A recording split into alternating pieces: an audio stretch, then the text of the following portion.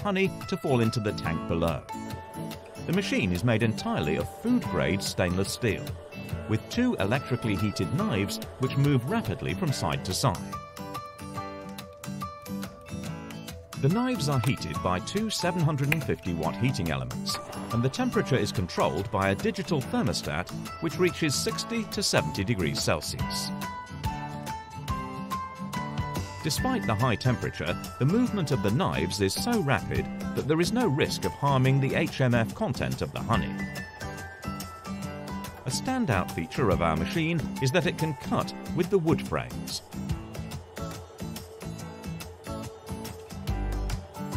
cloth. And at the end of the season, we recommend a thorough cleaning to ensure that the machine is preserved in